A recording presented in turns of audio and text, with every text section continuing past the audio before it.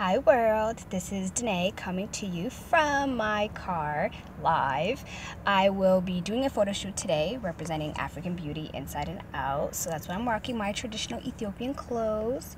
My face is tired and I want to sleep. I had a birthday party last night, my daughter's 10th birthday party, and it was crazy fun. So you know how that goes um, at my girl's house right now, about to get my makeup done. I am exhausted, but she's gonna do some magic. Her name is Amina. She's the bomb. That's, that's all I have to say. She's just the bomb diggity. Um, but yeah, I will keep letting you guys know how the day goes, and you keep being in tune. See ya.